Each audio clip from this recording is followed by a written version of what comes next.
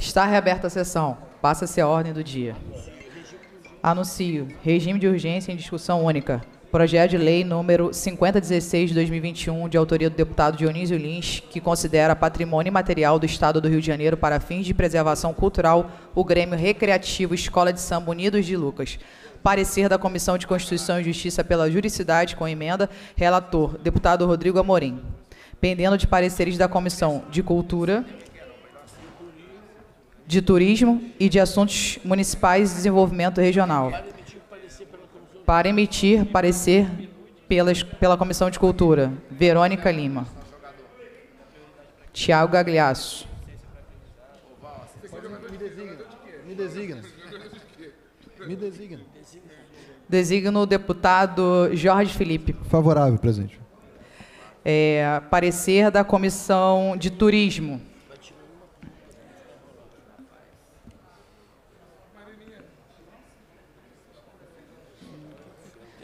Designo do deputado Jorge Felipe. Favorável também, presidente. Parecer da Comissão de Assuntos Municipais e Desenvolvimentos Regionais.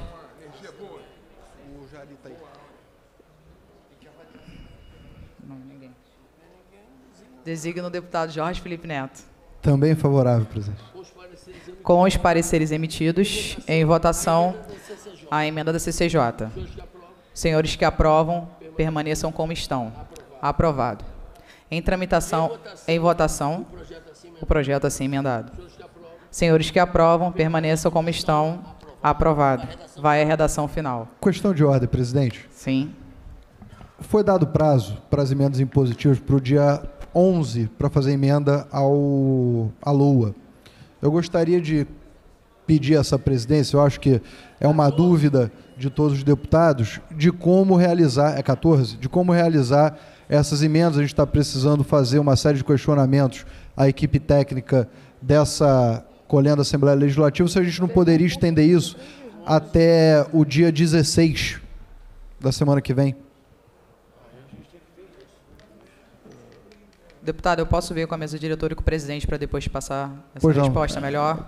Pedir isso para a presença da Comissão de Orçamento. Ok, anotado, obrigado. Tá, Ma- Mariana MST também pediu a mesma coisa. Em terminação ordinária, em segunda discussão, redação do vencido assim emendada. Projeto de lei número 3019-A de 2020, de autoria do deputado Carlos Mink, que dispõe sobre o fornecimento gratuito de medicamentos à base de canabidiol aos pacientes que comprovarem hipossuficiência nas unidades de saúde públicas conveniadas ao Sistema Único de Saúde, no estado do Rio de Janeiro. Em discussão, Senhor presidente, eu emendei meu projeto, achei que ia ter muitas emendas, mas só tem as minhas. Então eu vou retirar todas as emendas. deputado Só as únicas emendas são as minhas. Vou retirar. Eu queria aperfeiçoar, mas do jeito que está já não está mal, tá bom. Tá e foi bom. unanimidade. Tá muito bom. Depois a gente vê o que é que faz. Então- Vamos em frente. Então vamos, não havendo quem queira discutir, encerrada a discussão. Em votação, a emenda de redação. Os senhores que aprovam permaneçam como estão. Aprovado. Em votação, a redação do vencido assim emendada. Senhores que aprovam permaneçam como estão. Aprovado. Vai autógrafo. Para a Para declaração. a declaração de voto, nosso Presidenta, decano. presidenta Índia Arme- Armelau, quero dizer que eu tenho uma satisfação especial de um projeto que liga ecologia e cultura ser presidida a sessão por uma mulher que é da Amazônia e que está aqui sofrendo, como eu, com aquela seca horrorosa e que todos os dias penso o que fazer para melhorar, para apoiar, para prevenir. Eu queria agradecer a todos. Estamos aqui com o Fernando Amorim, que é da assessoria da CCJ, e a nossa Gisele. Porque o parecer da CCJ foi muito. Não, não é a Gisele, a assessora? É a Gisele. A Gisele é uma assessora da CCJ que ajudou a preparar as emendas. Não, não, não. Aquela é uma querida que ajuda todos os nossos projetos, mas essa Gisele que eu estou dizendo é uma bióloga da assessoria do deputado Rodrigo Amorim e que ela especialmente trabalhou esse tema porque conhece isso. Então eu queria agradecer a todos que fizeram e dizer o seguinte: inclusive estamos aqui com o presidente da Comissão de Saúde, que também ajudou muito. Quando havia determinados preconceitos, você disse: vamos acompanhar o SUS, vamos tirar a ideologia dessa discussão. A gente está falando de saúde pública. E foi nesses termos, exatamente nesses termos, que o deputado Rodrigo Amorim e sua assessoria prepararam. Eu tinha duas, eu tinha duas emendas importantes. Uma delas, deputada Índia Armelau, foi pedido por profissionais da saúde que o projeto fala médicos e o SUS fala profissionais de saúde, porque em tese um dentista, até um veterinário poderiam usar. Mas isso a gente aperfeiçoou depois, nada melhor do que ter o projeto já aprovado. Um outro que eu queria emendar, que era um, um ponto que o deputado Flávio Serafim também queria tirar, eu concordava com ele, que é um que diz que a polícia, não sei o que, poderia, se tiver alguma dúvida, pode pedir informação. Cá para nós não tem nada que ver. Esse projeto é o seguinte: uma pessoa chega no SUS e fala: olha, está aqui a prova que eu sou pobre, e está aqui a prescrição do médico. E a doença que eu tenho é uma daquelas que a Anvisa disse que esse que essa substância ajuda. Né? Então é, é fibromialgia, é Parkinson, autismo, várias dessas. Então, cá para nós, o que, que a polícia tem a ver com isso? Nada. Mas isso a gente resolve depois. Isso a gente resolve depois. O importante é aprovar um projeto. Outra coisa, o Rio de Janeiro foi o primeiro estado do Brasil a ter uma lei pró-cannabis medicinal. Mas, no entanto, nós perdemos um certo tempo, nós temos sendo, deputada Índia presidente, o 15 estado que vai ter a lei que põe, inclusive em São Paulo, um governador que é conservador, é do lado mais conservador da direita, ele, quando sancionou essa lei, aliás, eu vou lembrar isso quando eu falar com o governador Cláudio Castro, mire-se no exemplo do vosso colega paulista, que é mais conservador do que você, e na hora que ele foi sancionar, deputado Andy Armeló, ele falou: Olha, eu tenho um sobrinho que usou o cannabis medicinal e mudou a vida dele. E ele sancionou com base numa experiência familiar e pessoal. Então, eu, quando falar com, com o governador Cláudio Castro, com quem eu tenho uma linha direta, ele me ouve, eu também ouço ele, em suma, como deve ser. Eu vou lembrar para ele a fala do governador de São Paulo, que usou o sobrinho para sancionar a lei. Então, obrigado a todos, obrigado a vocês, obrigado aos colegas. O deputado Luiz Paulo, que sempre defendeu o projeto, fez emendas, discutiu, participou, ajudou sempre, o deputado Luiz Paulo. E aqui várias pessoas que, olha, estou vendo aqui pessoas que são usuárias do canabidiol e têm melhorado a saúde. Então, esse parlamento não pode usar o obscurantismo para travancar a saúde. E que o entendimento que a gente teve aqui, deputado Andy Armelau, sirva para outras coisas que a gente pode ter consenso. O dissenso é a vida do parlamento. Sem dissenso não há parlamento. A unanimidade é burra. Mas aonde a gente puder avançar, em áreas da saúde, em áreas, por exemplo, que Vossa Excelência trabalha, em apoio às pessoas com síndromes autistas e outras, que a gente pode construir consenso. Por que não avançar nessas áreas? Beleza. Obrigado a todos. Projeto de Lei número 5640, A 2022, de autoria da deputada Tia Ju, que altera a Lei Estadual número 6.576, de 4 de novembro de 2013, que dispõe sobre o censo Inclusão e Cadastro Inclusão, identificação do perfil socioeconômico das pessoas com deficiência no âmbito do Estado do Rio de Janeiro e da outras providências. Em discussão, não havendo quem queira discutir, em votação a emenda de redação. Senhores que aprovam, permaneçam como estão. Aprovado. Em votação a redação do vencido assim emendada. Senhores que aprovam, permaneçam como estão.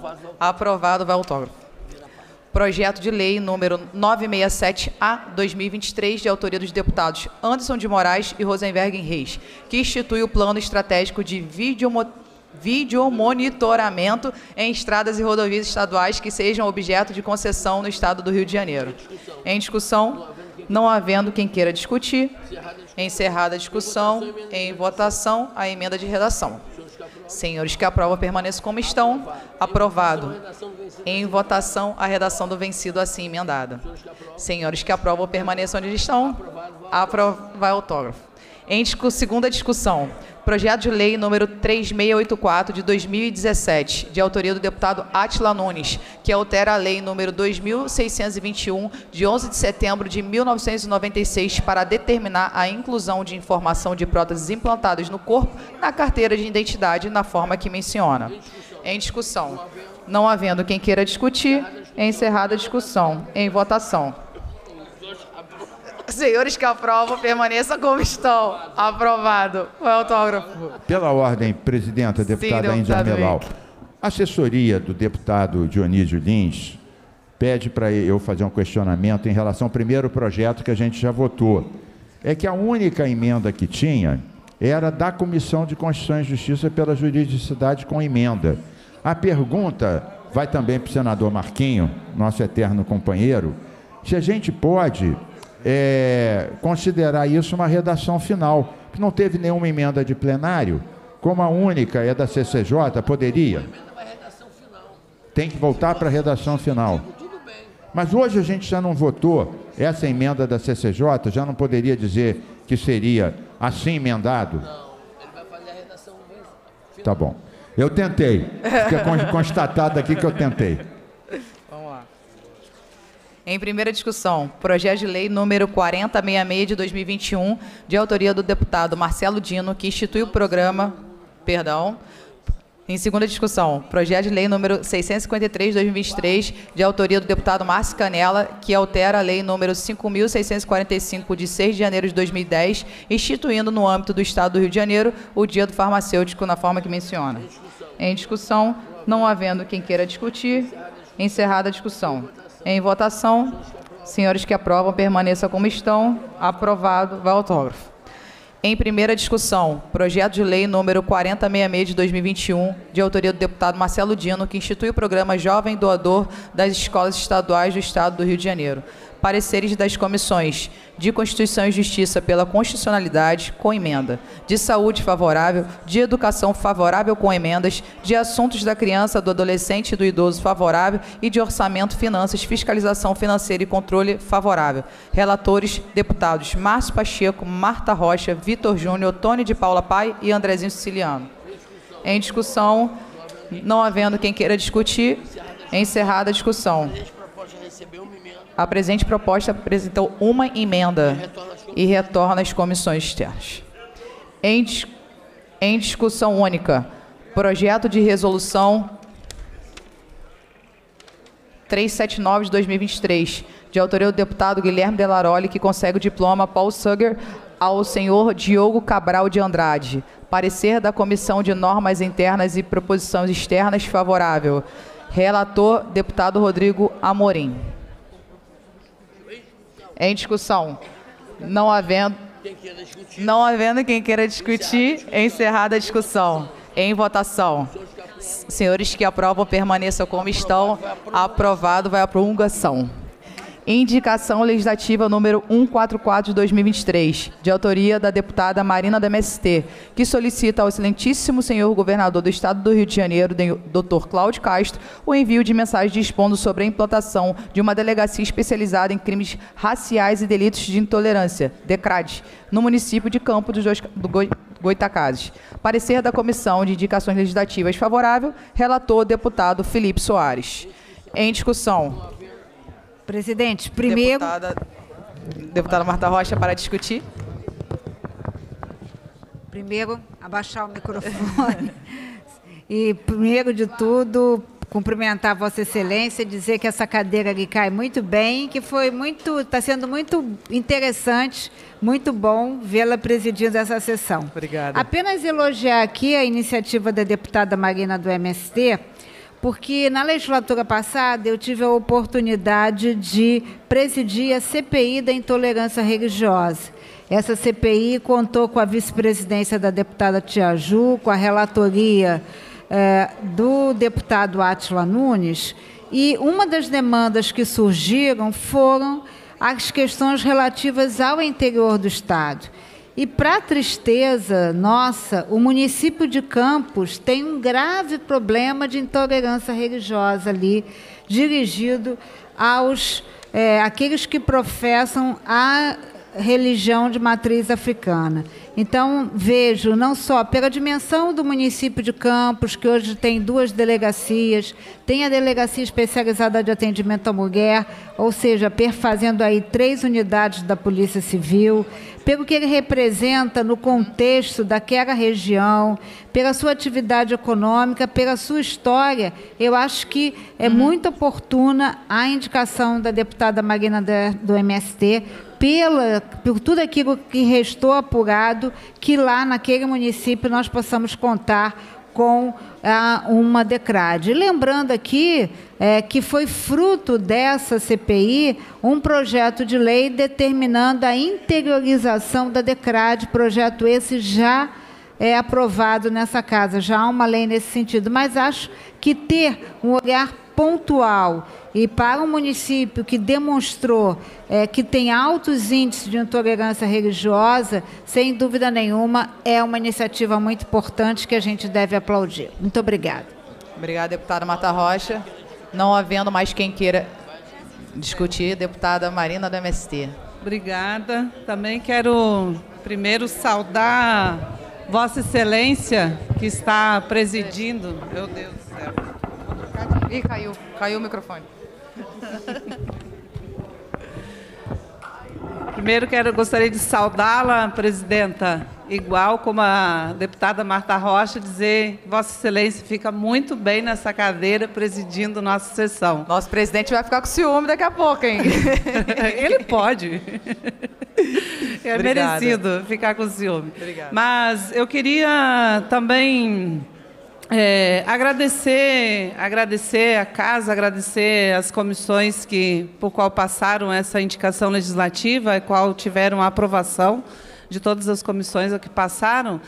E também dizer que é muito importante né, a implementação de uma delegacia especializada em crimes raciais e delitos de intolerância visto que nós só temos uma DECRAD no nosso estado, que é aqui no Rio de Janeiro, né?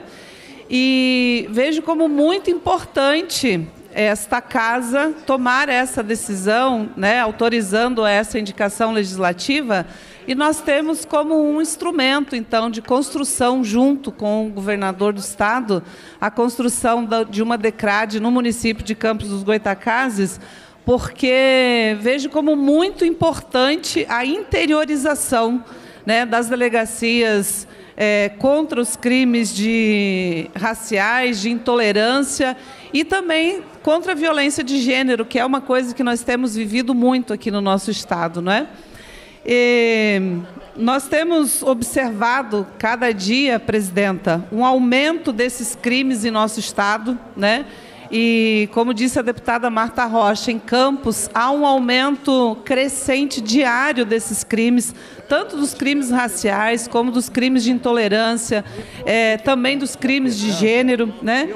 Então, é, nós juntos, né, a Alerge, é, junto com o, o, governador do estado, junto com o município de Campos dos Goitacazes, junto com a sociedade, nós enfrentarmos isso e vai ser um grande apoio também às polícias locais lá do município. Né? Então, quero agradecer a toda a casa, a todos os colegas que se empenharam também na construção dessa indicação legislativa e que a gente possa também fazer com que essa indicação legislativa aprovada seja um instrumento, de fato, para a gente construir uma DECRAD no município de Campos dos Goitacazes. Obrigada.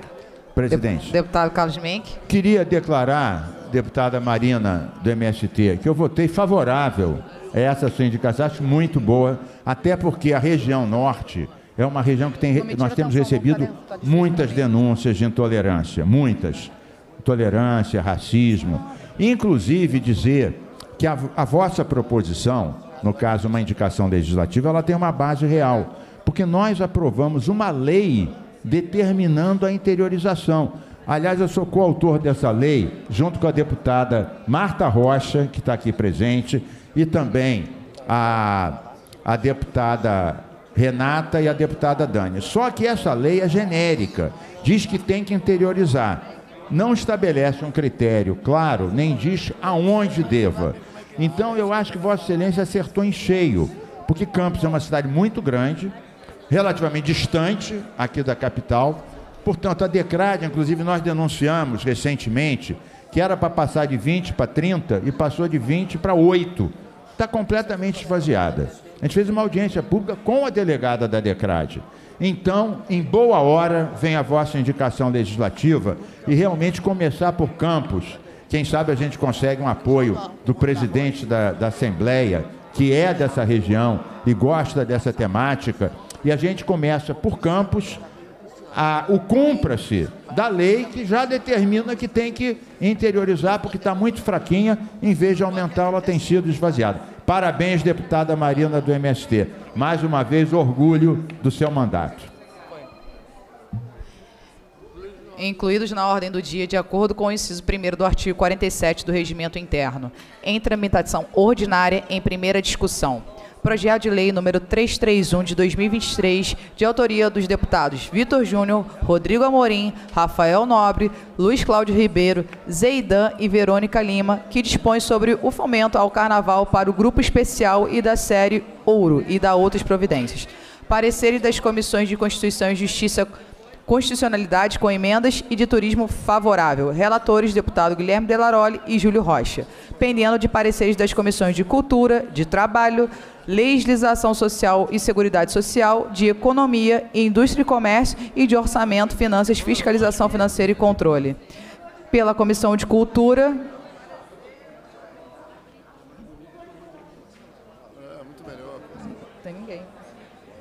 Tande. Deputado Tande pela Comissão de Cultura. Comissão de Cultura sou eu que sou Ah, desculpa. A, deputada Verônica está aqui presente. Desculpa, deputada. Imagina. Não vi. deputada Verônica. Presidenta, o PL do deputado Vitor Júnior, que visa a garantia de fomento para as escolas de carnaval do estado do Rio de Janeiro, de todos os grupos, grupo especial, os outros grupos também de acesso. Depois foram colocadas emendas também para as escolas mirins do Carnaval do Estado do Rio de Janeiro. Vai ter o parecer favorável da nossa Comissão de Cultura. Muito importante a gente. Deputada, a senhora é autora, coautora. E aí não pode dar o parecer? Não. Então já, já fica a minha fala como uma fala de declaração de declaração voto, para não, tá não desperdiçar. Tá então, celebrar o momento em que a gente consagra é, esse direito ao fomento que é tão importante para a cultura popular do Estado do Rio de Janeiro. Importante a gente lembrar também que tramita nessa casa também um projeto de minha autoria uhum. para fomentar os blocos de carnaval, que é um outro objeto. A gente já tem uma lei aprovada por essa casa do deputado Valdec Carneiro que fomenta as rodas de samba. Um projeto também muito assertivo, que esse ano já teve por parte da Secretaria de Cultura do Estado um edital de 300 mil reais fomentando 30 rodas de samba do Estado do Rio de Janeiro, fruto dessa lei. E é muito importante que a gente compreenda que são objetos distintos. Então, a gente já teve a lei do deputado Valdec, fomentando as rodas de samba, e a Secretaria de Cultura colocando um fomento de 300 mil reais para 30 rodas. Tem o projeto do vereador, do deputado Vitor Júnior, um projeto assertivo que vai garantir o fomento para as escolas de samba do Estado do Rio de Janeiro e, na sequência, também um projeto de nossa autoria para os blocos de carnaval. Então, fica aqui a nossa declaração de voto, porque, como eu sou coautora, o deputado Vitor Júnior gentilmente cedeu a coautoria, eu não vou poder fazer aqui a, a, o voto favorável. Declaração de voto pela Cultura, Comissão de Cultura, deputado Tandy. Senhora presidente. Oi. Eu não estou entendendo. Ah, aparecer, para ser a comissão, perdão. Ué, tá declaração de voto? Não, é porque ela ia dar parecer, mas ela era coautora e ela não sabia que não poderia dar. Aí ela aproveitou para dar declaração de voto e a gente vai voltar aos votou, pareceres. senhora presidente, como é que vai declarar voto? Não, tudo bem, é só, ela só pediu e aceitou, já estava usando a palavra. Aí a gente deixou, só isso. Nós só falamos declaração de voto, eu levantei. Não, parecer das comissões agora com o Tande. Na hora que for declarar voto, eu vou aqui fazer uma observação. Tudo bem, sem problema. Senhora presidente, É, o parecer é favorável acompanhando a CCJ e aproveitando a oportunidade para parabenizar os deputados Vitor Júnior, Rodrigo Amorim, Rafael Nobre, Luiz Cláudio Ribeiro, Zeidan e Verônica Lima pela iniciativa. Presidente, acrescentar também a coautoria do deputado Yuri, que fez contato também hoje com o nosso mandato, a deputada Dani Balbi. A deputada Índia. E a deputada Ingrid. para deputada Índia, perdão, deputada Índia para anexá-los também como coautores do projeto. Pela pare, é, parecer pela Comissão de Trabalhos, Legislação Social e Seguridade Social, deputada Dani Balbi. A coautora acabou de entrar. E deputado Dionísio Lins também, presidente.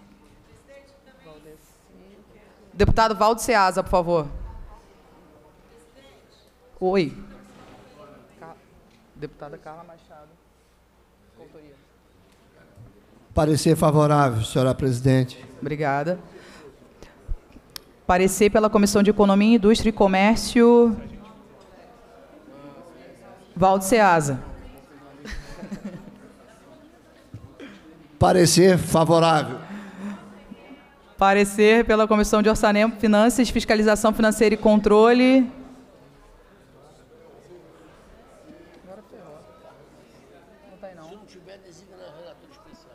Deputado Júlio Rocha também, presidente. Designo deputado Anderson de Moraes. Senhora presidente, boa tarde. É, parecer é favorável, acompanho, acompanhando a CCJ. Obrigada. Com os pareceres emitidos, em discussão. Não havendo quem queira discutir, encerrada a discussão. Em votação, as emendas da CCJ. Senhores que aprovam permaneçam onde estão. Aprovado. Em votação, o projeto assim emendado. Senhores que aprovam permaneçam como estão. Aprovado. Vai a redação do vencido para a segunda discussão. Senhora presidente, questão de, de ordem. Deputado Luiz Paulo estava na frente. Deputado Rodrigo Amorim. Ainda que não estivesse. não, a questão de ordem é a seguinte. A não ser que o regimento interno tenha mudado, o projeto está emendado.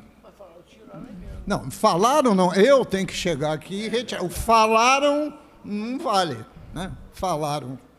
O Luiz Paulo tem que chegar assim. Eu retiro a minha emenda a pedido dos autores, etc. Porque o negócio de falar. Quando eu quero alguém para retirar a emenda, a gente caça a pessoa onde tiver para a pessoa dizer, estou retirando a emenda. Senão vira uma rotina que um. O senhor tem plena razão, deputado. Então, senhora presidente, eu estou retirando a emenda, apesar de achar que eu tenho toda a razão, mas os autores estão pedindo, eu estou retirando a emenda, senhora presidente. Obrigada, deputado Luiz Paulo. E da próxima vez que alguém fizer malcriação com ele, vai ser comigo. Vai a redação do vencido para a segunda discussão. Eu vou deixar o deputado Rodrigo Amorim. Amorim. Vitor, deputado Amorim. Presidente, a questão de ordem. Pedir a Vossa Excelência que possa chamar os trabalhos à ordem sobre o projeto, o primeiro projeto da pauta, é o 5015 de 2021, de autoria do deputado Dionísio Lins, apenas para retificar... 5016. 5016, desculpa. É a falta do óculos. para chamar os trabalhos à ordem e, se Vossa Excelência autorizar, pedir forma final de redação, que não foi pedido, foi dado o parecer, concluindo por substitutivo. Então, o parecer da CCJ é pedindo forma final de redação, concluindo por substitutivo. Não, não, não muda o, a votação, mas só uma questão de forma na conclusão pelo substitutivo. A presidência defere Obrigado. o pedido de Vossa Excelência. Vossa Excelência fica muito bem e vota em presidindo votação. a sessão. em votação substitutivo com forma final.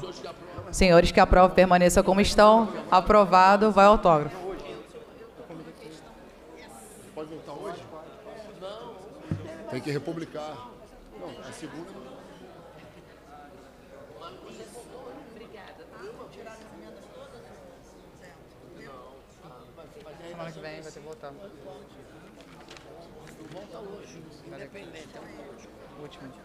Obrigado, presidente. Presidente, para a justificativa de voto. Presidente, primeiro agradecer a todos os parlamentares aqui presentes, a todos os parlamentares coautores do projeto.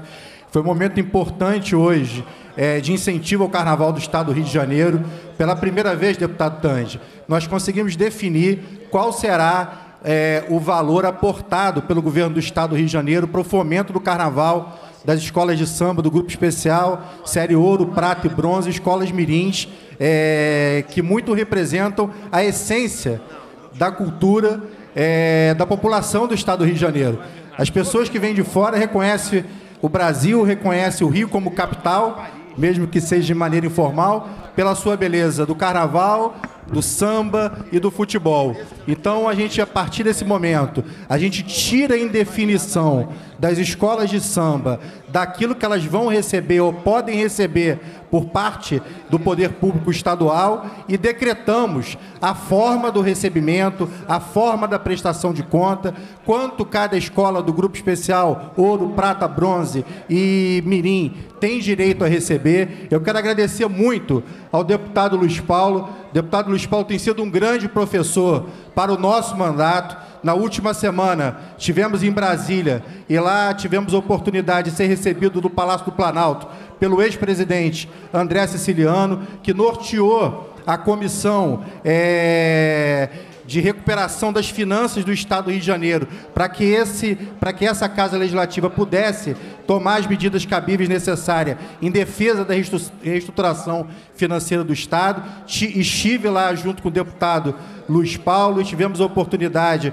é, com o deputado Andrezinho também, de aprender muito com o deputado Luiz Paulo e, mais uma vez, o deputado aqui mostrou a sua parceria, a sua elegância, o seu comprometimento com as pautas principais que esse parlamento tem, é, retirou a emenda. Eu quero fazer esse agradecimento, deputado Luiz Paulo, a Vossa Excelência, e de mesma forma também a deputada é, Lucinha, que é a sua maior defensora depois de mim mas eu quero fazer esse reconhecimento e agradecimento a todos, a todos os deputados. Esse projeto volta em segunda discussão muito em breve e vamos fazer um grande ato com todas as escolas de samba beneficiadas para que a gente possa, a partir desse ano, ter o Carnaval do Estado do Rio de Janeiro mais pujante, como já é, representando a cultura carioca. Obrigado, presidente.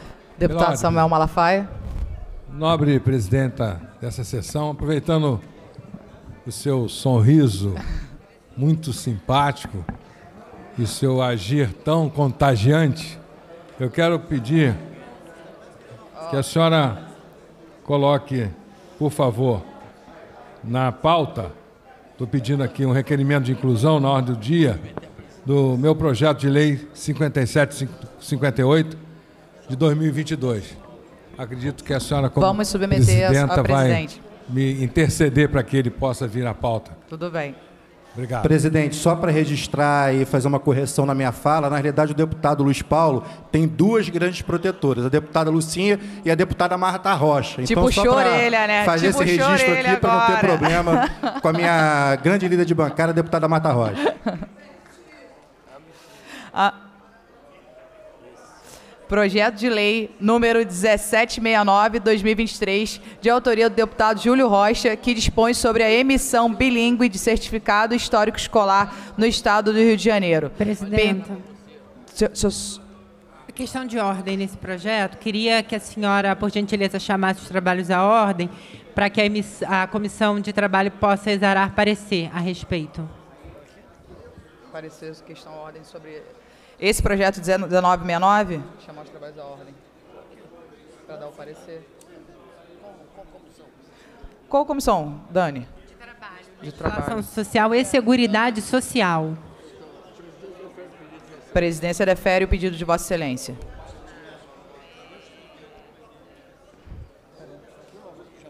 Não. Pendendo de pareceres das comissões de Constituição e Justiça, de Educação, de Orçamento, Finanças, Fiscalização Financeira e Controle Constituição e Justiça, deputado Rodrigo Amorim.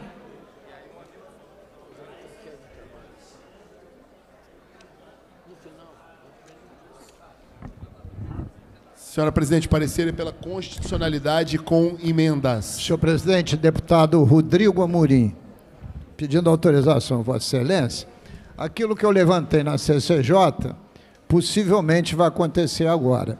Eu emendei o projeto fui procurar no plenário para dizer que a minha emenda fica prejudicada pelo parecer da CCJ. Sim, verdade. Eu não conheço o parecer da CCJ, não sou mágico. Quando eu emendo, se não tem parecer, então eu gostaria de conhecer as modificações para ver se eu retiro a minha emenda. O projeto recebeu não. sete emendas. Não, mas eu retiraria pelo menos as minhas. Eu quero saber qual o parecer. Ele deu constitucionalidade com emendas, só isso. Presidente, me, refiro, me dirijo também ao, ao Marquinhos. A gente, a gente entabulou uma conversa na CCJ, que na verdade quando o projeto ele recebe o parecer da CCJ e ganha uma nova redação, uma redação é, adaptada, reformulada, automaticamente os deputados, quando exercem o seu direito de emendar em plenário, eles passam a fazê-lo em cima da, da nova redação da CCJ. E muitas vezes as emendas que os deputados apresentariam, elas acabam sendo prejudicadas ou desnecessárias porque elas já foram corrigidas ou alteradas no parecer da CCJ. Então, um projeto extenso desse, que tem sete emendas, a CCJ recebe algumas emendas, emendas inclusive que foram acordadas com o autor, é fundamental que o deputado Luiz Paulo tenha é, a ciência de quais emendas essas estão sendo recebidas para poder manter ou não as atuais emendas de plenário. Então, se Vossa Excelência permitir que. Por favor. Dê vista aqui rapidamente, passar aqui o parecer para o deputado Luiz Paulo.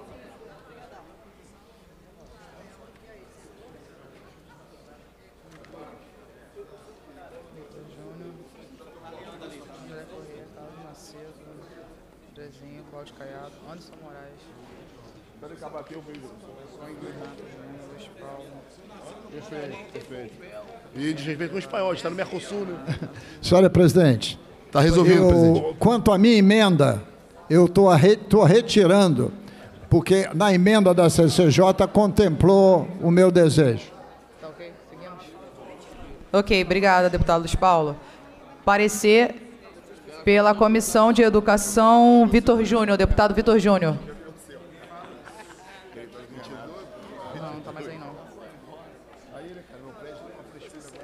Deputado Flávio Serafini.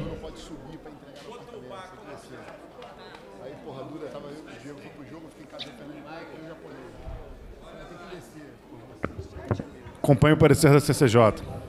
Parecer pela Comissão de Orçamento, Finanças, Fiscalização Financeira e Controle. Anderson de Moraes.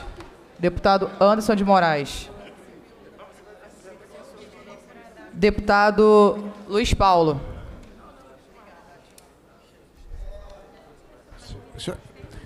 É o mérito, senhora presidente. Não ouvi.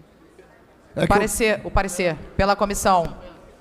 No mérito, senhora presidente, voto favorável ao projeto de lei do deputado Júlio Rocha. Comissão de Trabalho, deputada Dani Balbi. Parecer favorável, queria apenas é, parabenizar o autor da propositura e justificar por que, que a comissão de trabalho pediu para exarar o parecer que vai favorável, porque a emissão de histórico, sobretudo para as e os alunos concluintes do ensino básico, do ensino médio, também serve para que eles possam concorrer a vagas no exterior ou a vagas estabelecidas aqui no âmbito do, do Estado do Rio de Janeiro ou do Brasil, é, de empresas que contratem aquelas e aqueles que têm certificado bilíngue. Então, é um avanço muito grande e cria é, uma amortização de custo, porque as traduções juramentadas são, são muito custosas e os alunos é, é, informação principalmente do ensino básico público. Então, acredito que é um avanço significativo para que os alunos que concluam o curso no, nas instituições públicas de ensino possam pleitear vagas em empresas que têm a demanda de contratarem alunos bilíngues e também para que incentive esses alunos a fazerem o intercâmbio ou se radicarem no exterior. Parabéns ao deputado Júlio Rocha. É Obrigada, discutir mais rapidamente. É, eu estou votando favorável, mas a, é, nós sabemos que um documento dessa, dessa monta, dessa importância, ele tem que ter a tradução juramentada. Não tem jeito, ela é internacional. Mas tudo bem, vamos tentar. Sim. Com os pareceres emitidos, em discussão. Não havendo quem queira discutir, encerrada a discussão. A presente proposta recebeu seis emendas e retorna às comissões. Nada mais havendo a declarar. A sobre a mesa. Requer na forma regimental do artigo 47 do ensino primeiro, inclusão na ordem do dia na tramitação do projeto de lei número 1556 de 2019, do deputado Rodrigo Barcelar. Em votação, senhores que aprovam permaneça como estão. Aprovado. Requeiro de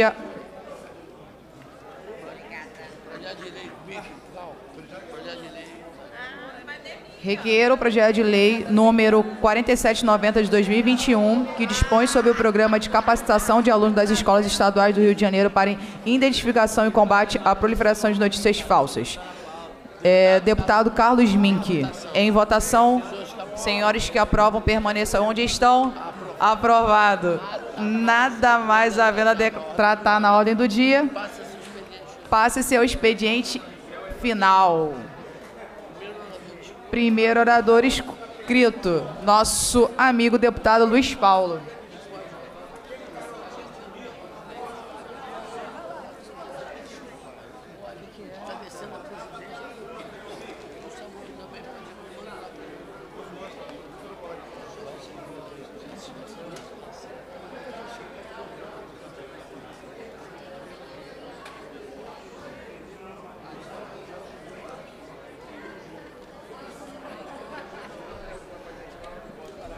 Senhora Presidente, deputada Índia Armelau, senhoras e senhores deputados presentes aqui na nossa curta e vigorosa ordem do dia.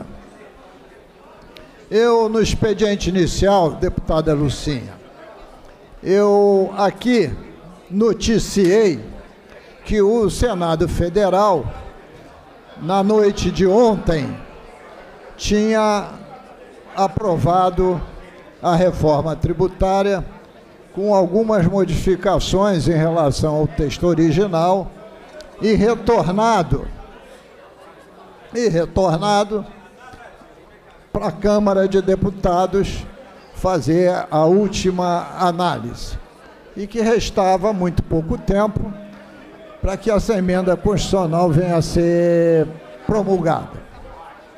E dizia isso, deputada Lucinha, porque hoje é dia 9 de novembro. Se nós tirarmos os sábados e domingos, possivelmente estamos a 30 dias úteis do término da presente legislatura. 30 dias úteis. E eu verifico que o nosso estado do Rio de Janeiro, sob o ponto de vista das finanças públicas, principalmente, mas não só, está à beira de um precipício porque o orçamento para 2024 prevê um rombo de 8,5 bilhões de reais. Isto é, as despesas previstas são maiores que as receitas em 8,5 bilhões de reais.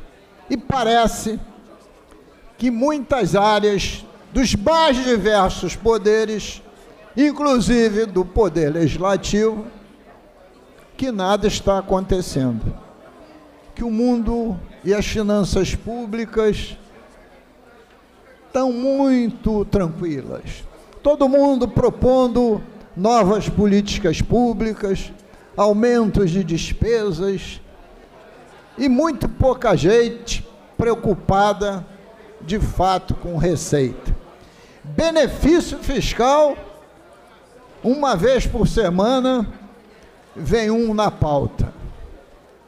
Mas como aumentar a receita não aparece na pauta.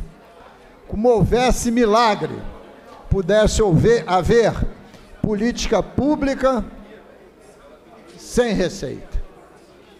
Eu estou chamando a atenção para esse aspecto, porque eu aprendi ao longo da minha vida que uma forma supérflua de ser feliz é se alienar. O alienado não toma contato com a dura realidade e aí flutua. Mas a Terra não é um mundo de flutuar. Né? Sem recursos, não tem política pública. E eu já vi, deputada Lucinho, Vossa Excelência também, esse filme em 2015 e 2016. Queria lembrar Vossa Excelência que no ano de 2014, no segundo semestre, teve eleições para presidente da República e para governador do Estado. Vossa Excelência de lembrar. Candidato do governo federal era então a candidata que se tornou presidente, Dilma Rousseff. E aqui era a reeleição de Sérgio Cabral. Deputado Carlos Mink, 2014, eu acho que era secretário, nem deputado era. Era deputado ou secretário, deputado? O senhor, em 2014. É deputado. Mas estava da, da deputância ou estava no secretário? Não, não, eu saí da secretaria em 2013, dezembro. Bom, Voltei então, para a Assembleia. Carlos Mink está aqui. O preço do barril do petróleo desabou exatamente no início do segundo semestre de 2014. O governo, a época, o governo Lula, pisou no acelerador dos gastos. O governo Sérgio Cabral. 2014, o governo Dilma. Governo Dilma. Pisou o acelerador dos gastos. Tem razão. Foi a reeleição da Dilma, 2014. O governo Sérgio Cabral fez o mesmo. Aqui em plenário teve deputado que comemorava. Tivemos da agência Fitness a nota BBB+, e dizendo aprovar pedido de empréstimo. Quando fechou o ano de 14 e veio para 15, o dólar estava lá na ordem dos 30 dólares o barril. E as finanças públicas, tanto faz a federal quanto a estadual, colapsaram. A presidente Dilma foi reeleita e mais tarde, alegando-se a questão das finanças públicas, foi empichada pelo Congresso Nacional.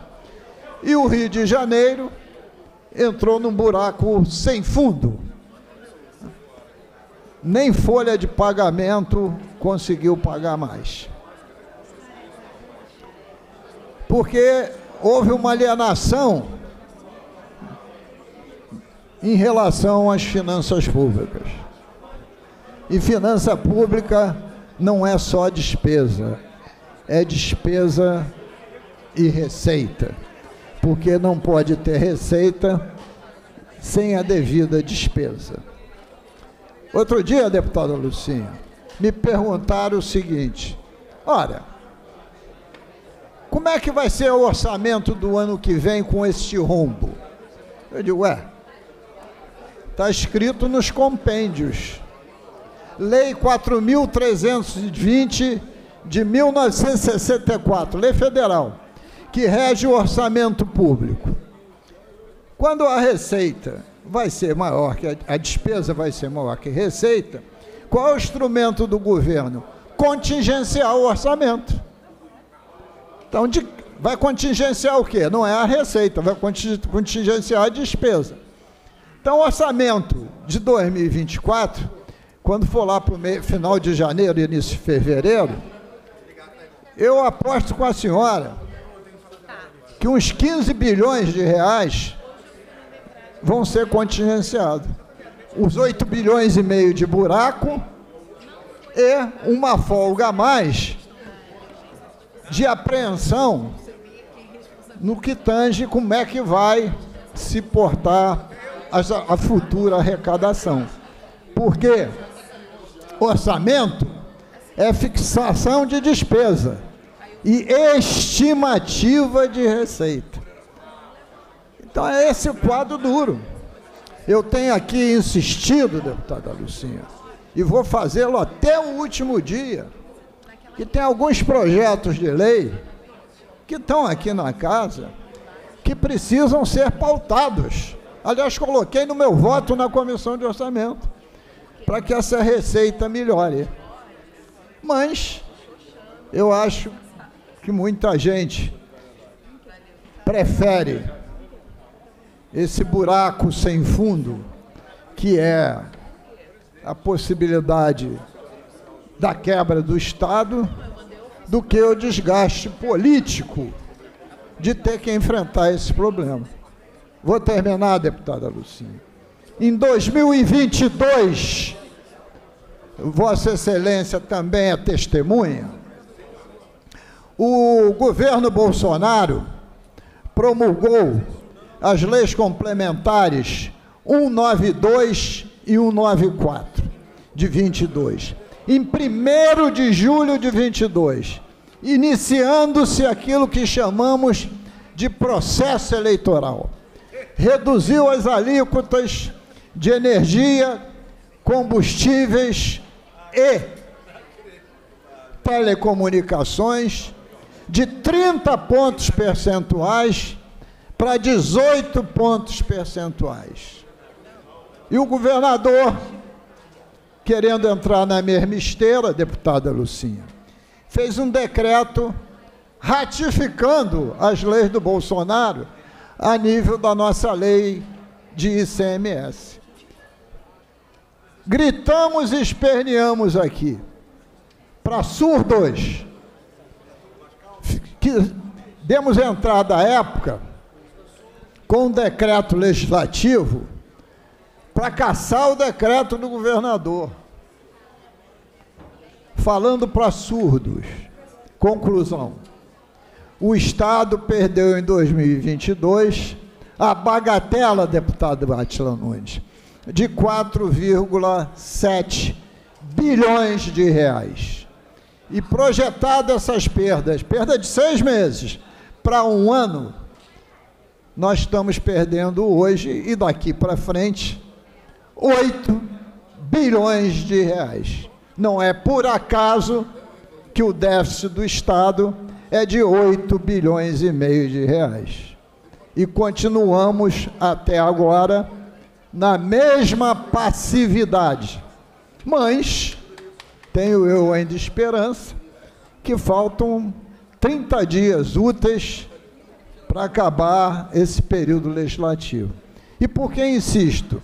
Porque se a gente for mexer em alguma alíquota de ICMS, deputado Atila Nunes, Vossa Excelência, que é um deputado tarimbado, sabe que existe na Constituição o princípio da anualidade. Para você aumentar a alíquota de um tributo em um ano, ele só pode entrar em vigor no ano seguinte.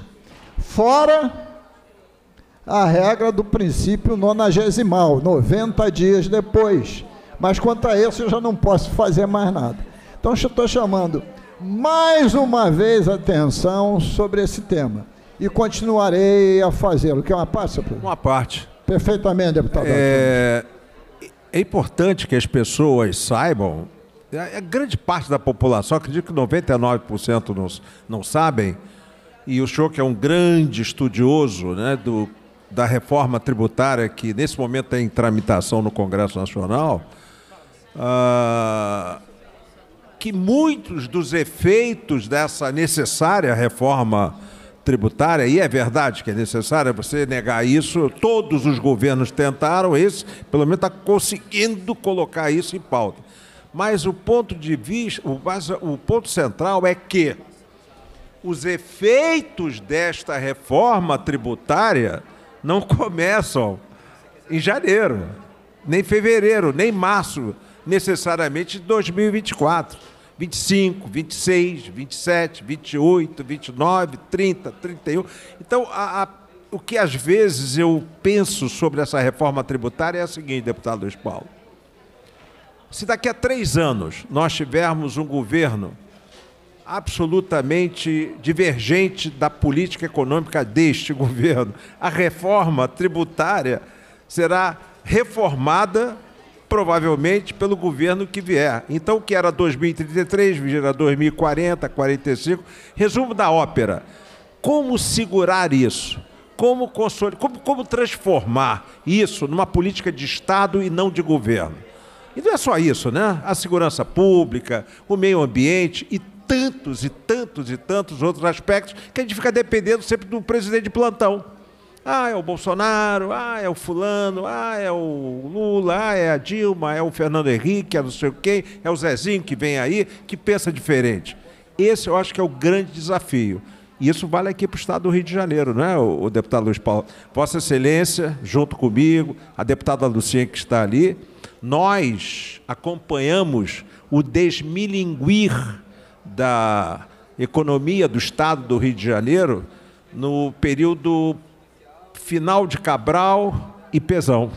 Não é verdade? Apesar da, da, das várias e várias. 2015 e 2016. Exato. Não, as manifestações, eu me recordo do presidente da época do Poder Legislativo, dizia nas reuniões de liderança: vai quebrar, vai quebrar, vai quebrar, e quebrou.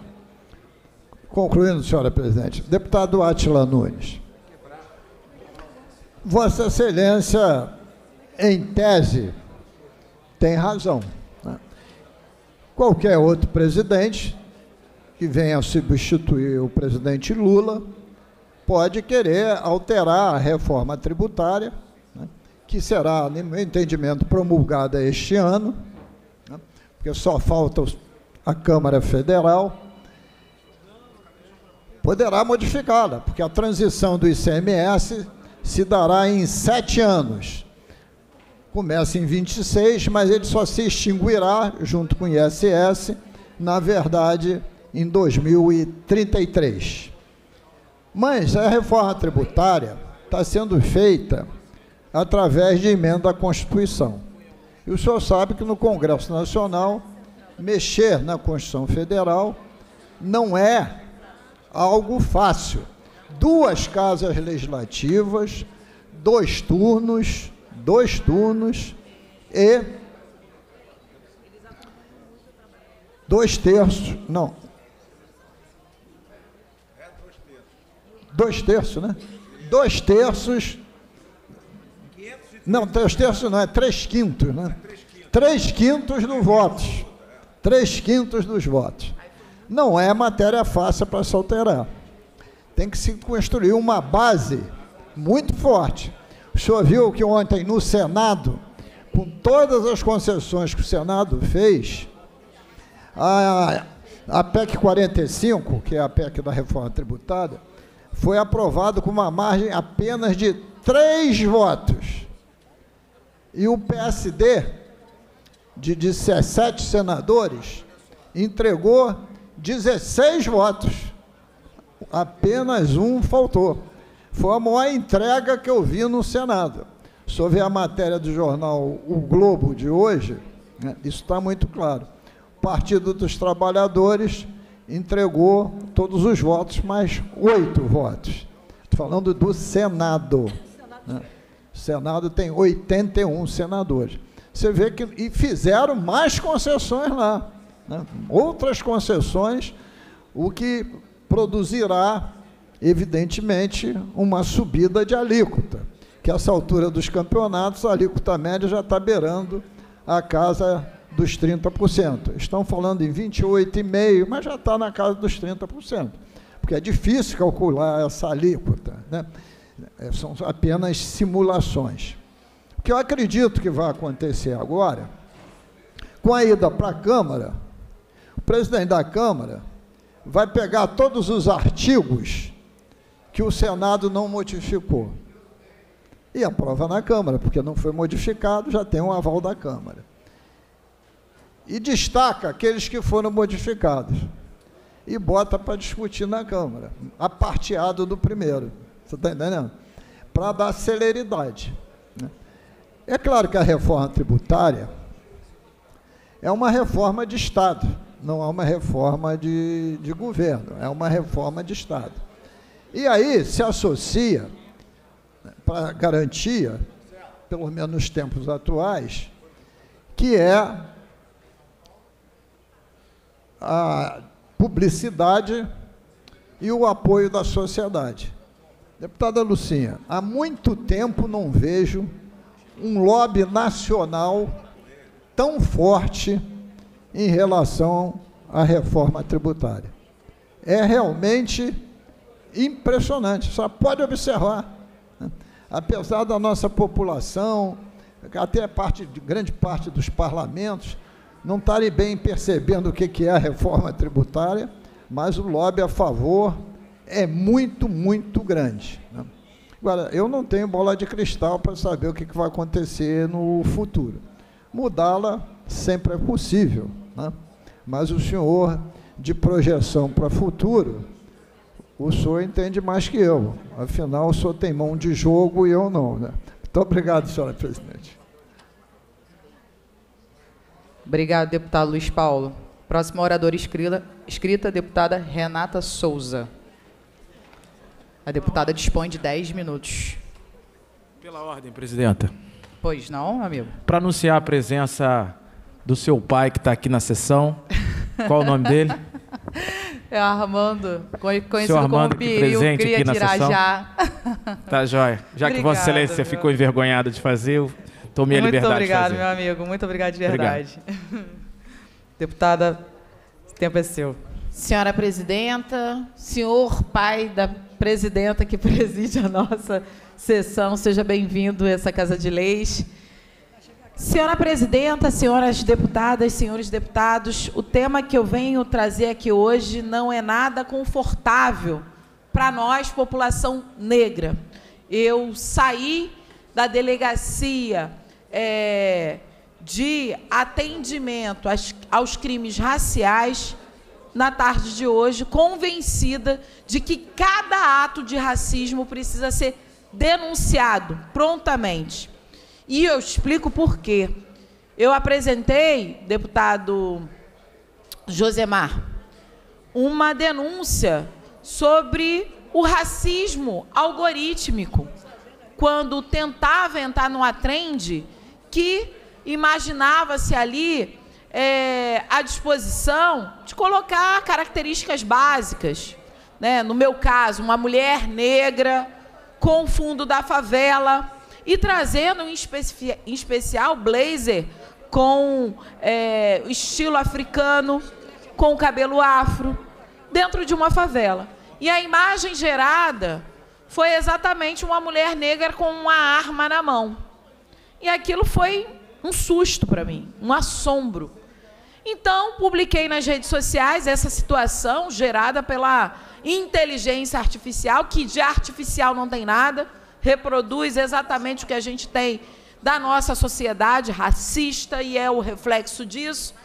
Mas, evidentemente, coloquei nas minhas redes sociais e tamanho foi o meu assombro quando tive várias pessoas tentando desqualificar a denúncia feita e, mais que isso, aproveitando das redes sociais para cometer de novo o crime de racismo.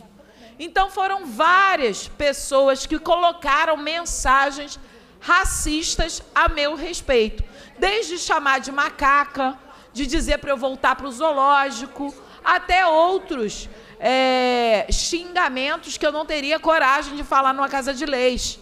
Mas é importante a gente observar que na, na plataforma chamada de Discord, que é onde a gente tem ali vários crimes sendo cometidos, inclusive pedofilia, inclusive crimes que hoje o, o, as leis brasileiras estão com as mãos atadas, estão reféns, porque essas plataformas acabam protegendo os criminosos. Então, nesse sentido, o que eu fiz? Peguei as, é, os xingamentos, peguei os, os links e fui a Decrade fazer uma denúncia de racismo sofrido nessas plataformas.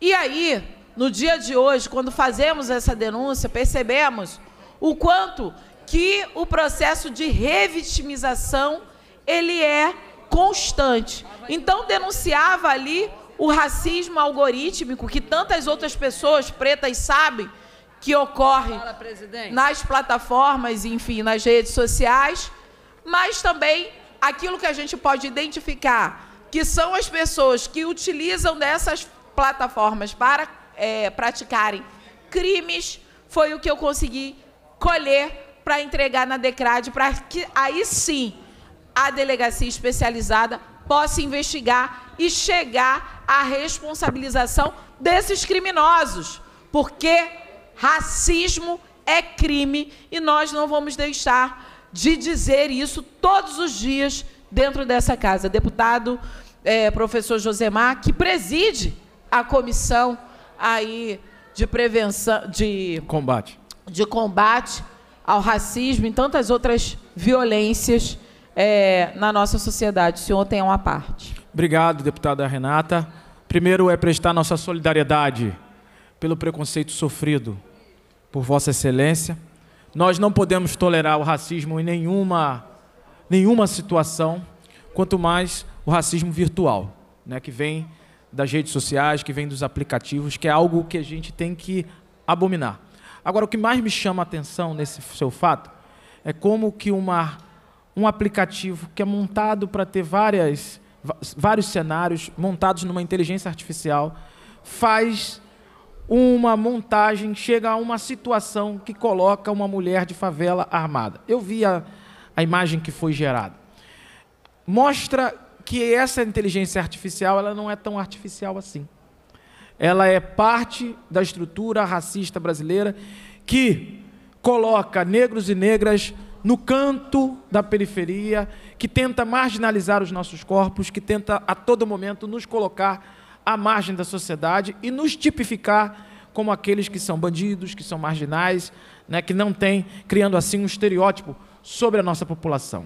Por isso você fez muito bem de denunciar publicamente, fez muito bem agora, frente aos atos racistas, que são uma reação à sua denúncia, de ir à delegacia e temos que cobrar, enquanto Casa Legislativa, que esses casos sejam é, investigados e que as pessoas que cometeram racismo no espaço virtual sejam punidas. Nós não podemos deixar, pode contar com a nossa solidariedade, pode contar com a comissão, pode contar com o meu mandato, para que a gente possa estar fazendo a nossa, o nosso papel, de é, que é o de extirpar, de combater esse câncer que existe na sociedade brasileira chamado racismo.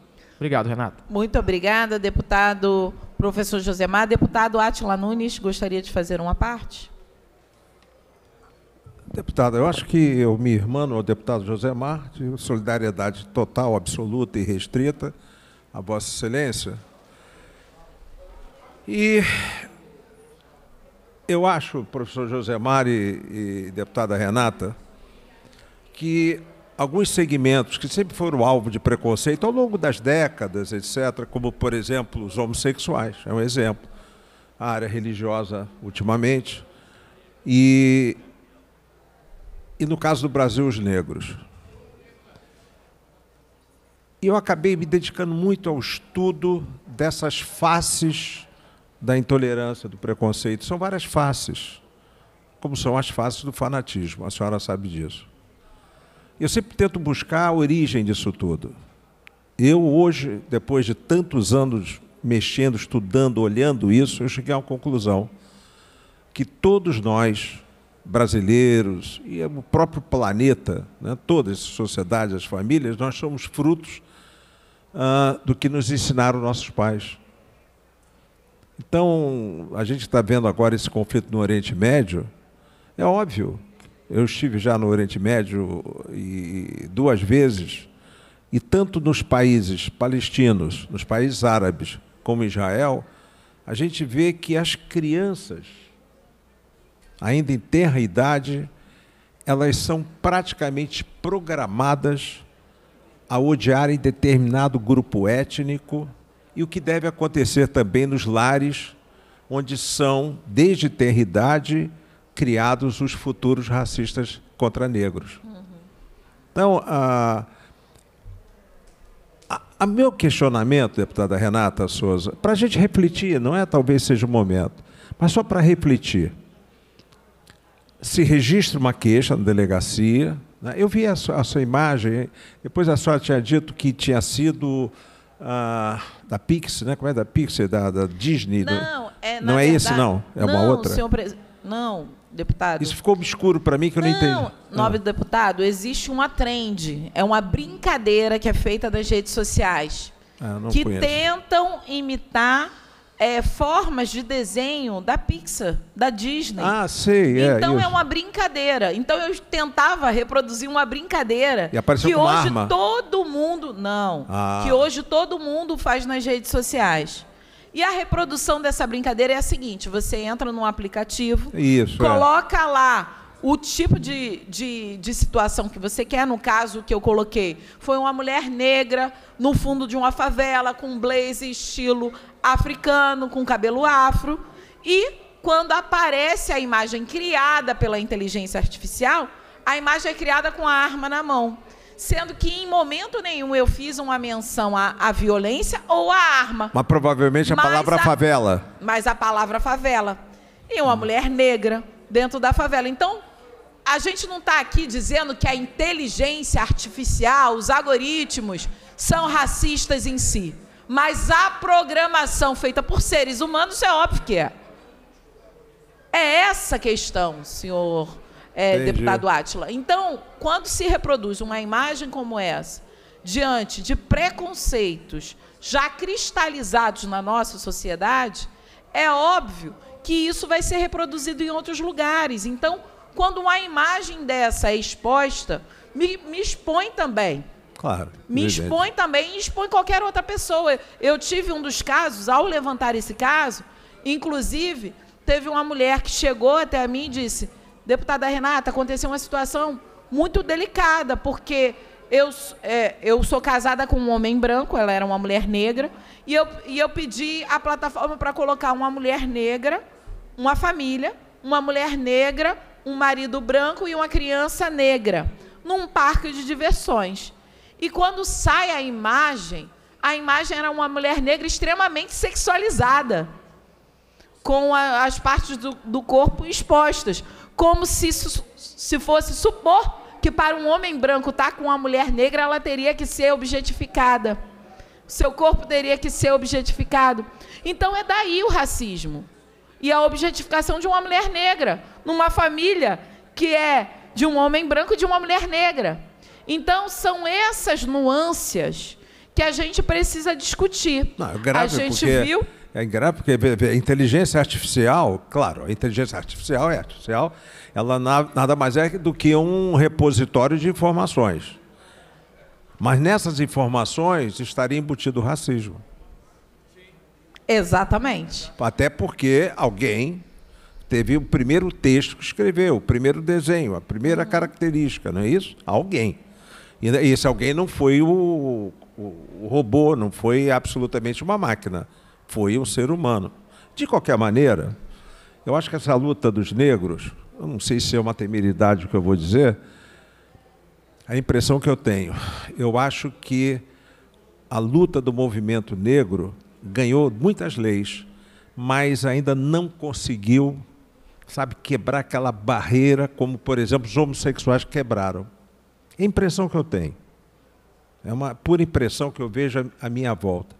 Enquanto os homossexuais cresceram em termos de ocupação natural, de aceitação natural na sociedade, eu vejo que o preconceito da cor ele continua muito vivo, muito latente. Né? Muito obrigado, deputado. Nada.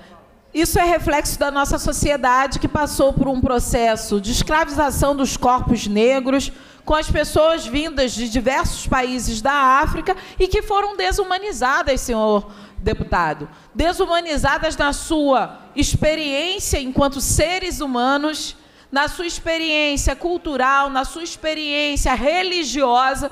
Não à toa são as religiões de matriz africana que mais sofrem com o racismo religioso e a intolerância religiosa.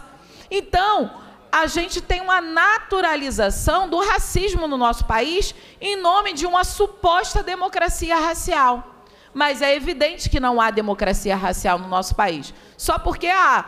Mas somos miscigenados, pai branco, mãe negra, somos miscigenados, todos nós nos damos muito bem, somos os cidadãos e cidadãs cordiais. Essa falácia trouxe para todos nós a uma, uma negligência de combater o racismo de maneira concreta. Uma negligência institucional, inclusive. Porque quando a gente fala que o racismo ele organizou e estruturou a nossa sociedade, isso está dentro nas, das instituições. Então, esse é um debate importante a ser feito. Ainda bem que estamos aqui dentro de uma casa de leis fazendo esse debate, porque, afinal de contas, os avanços eles merecem ser é, seguidos a partir das demandas sociais. Então, o racismo é crime, tem que ser tratado como crime e tem que ser responsabilizado os criminosos que cometem racismo e que vêm nas redes sociais, que veem nessas plataformas é, um ambiente fértil e livre para continuar cometendo seus crimes.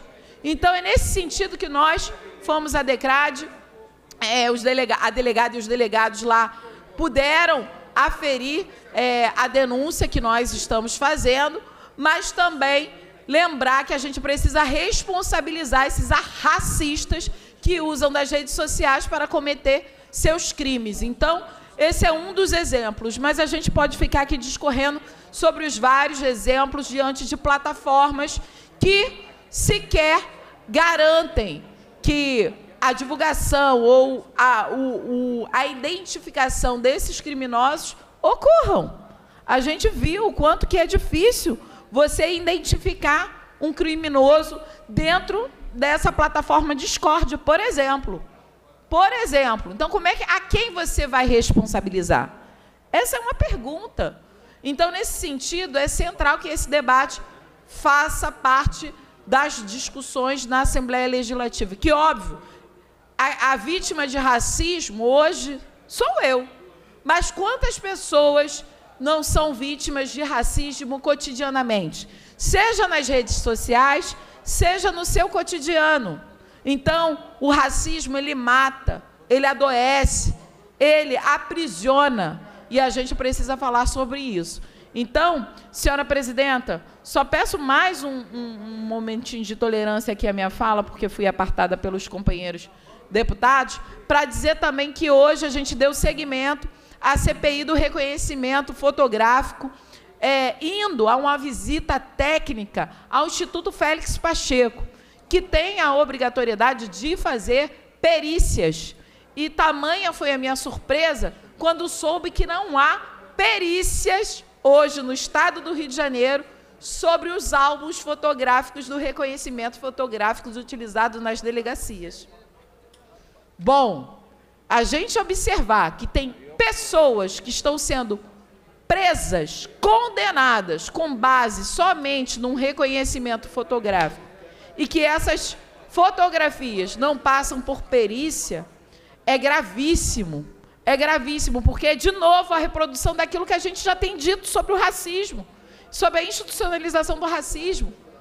Uma pesquisa apresentada no âmbito da CPI pela Defensoria Pública demonstrou que 80% dos casos de equívocos nos reconhecimentos fotográficos eram exatamente com jovens negros de favela e periferia.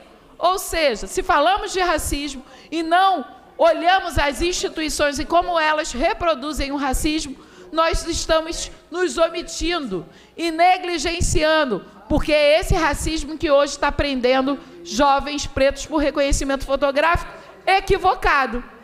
Então, é um debate importante a ser feito.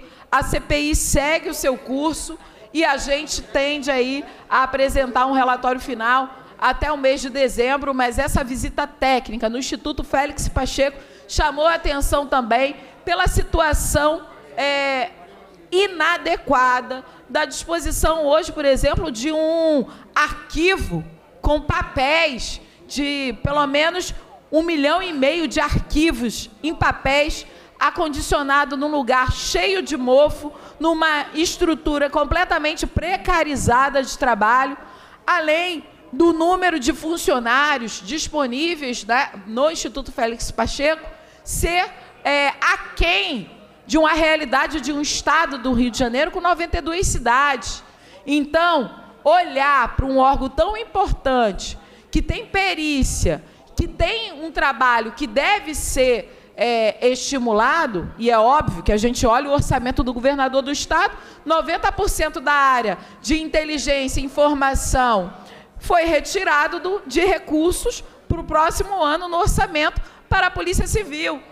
Ou seja, precariza-se o espaço, não há condição de perícias ocorrerem de maneira concreta, já que a gente tem aí cerca de 90% dos recursos de, que seriam destinados para a perícia serem cortados no próximo ano, a gente vê o Instituto Félix Pacheco dependendo de uma atenção concreta não só dessa casa, mas também do governo do estado, porque combater crimes necessita de inteligência e informação, mas isso precisa de orçamento do estado aportando aí para melhor acondicionamento dos profissionais das perícias, mas mais que isso, garantindo que os crimes sejam é, resolvidos, sejam concluídos, sem que a gente aprenda ou condene pessoas inocentes, como tem acontecido nos reconhecimentos é, fotográficos no âmbito do Estado do Rio de Janeiro.